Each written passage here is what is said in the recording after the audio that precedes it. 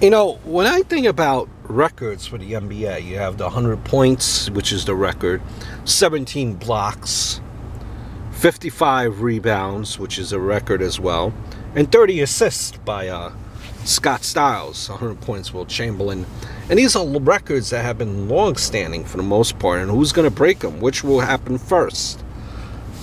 You know, I just kind of was thinking about it, and you know, I can't personally, I can't see 100 points being broken because every team has about two to three main scorers. Uh, so one person wouldn't get enough touches to reach 100. Can't see the 55 rebounds because that means one player would literally uh, have to get all the rebounds in one game defensively and offensively. And even that uh, might not be enough.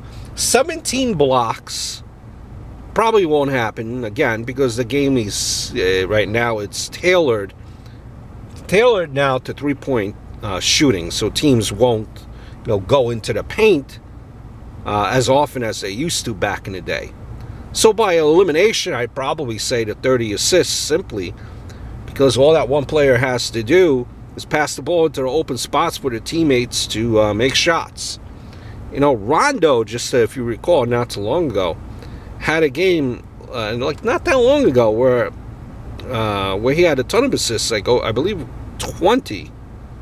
Uh, so the assist record will probably be the first one to go. Hope all is well. Look forward to speaking to you very, very soon.